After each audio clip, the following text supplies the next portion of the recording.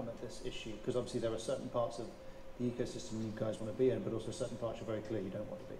Yeah, I mean, I think, you know, this is something where there's gonna have to be some experimentation, but certainly, you know, if the rider wants to change their destination during the trip, that's something that we would wanna control that interface, because then we could, you know, respond to them on the response time, how long it would take, what the extra charge would be to do that. On the other hand, if it's, uh, to have a great user experience, we wanna have voice control so that they can adjust the climate, or ask for the stereo to do something, right? That would be something that we would then, you know, ask our OEM partner to develop because that would be, you know, completely in their area of expertise to make that work seamlessly. So I think in each of these experiences, well, at least our perspective, will be, we will be working with our partners to decide, okay, is this something that that fits within our wheelhouse? We can do this really well to deliver it, or is this something that the partner can can deliver? And I think there's going to be a lot of things that are uh, that, you, that, that may fall a little bit in between, and then we'll have to do some experimentation, figure out you know, which way to go with that.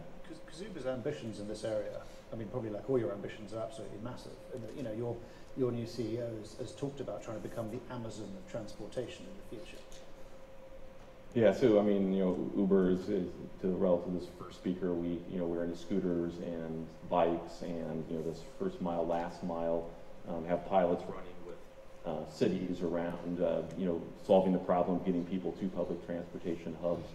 And so, yeah, there's, there's a lot of uh, not only connectivity and how do we interact with the user within the vehicle, but how do we actually interact with them as like they get handed off between other um, other modalities of transportation, some of which may be ones that, that Uber is managing, like a jump bike, or it may be that the, the car is now dropping them off at a subway station and now they're interacting with a city transport authority. And so Yeah. Can I just pick up on the whole idea of the city?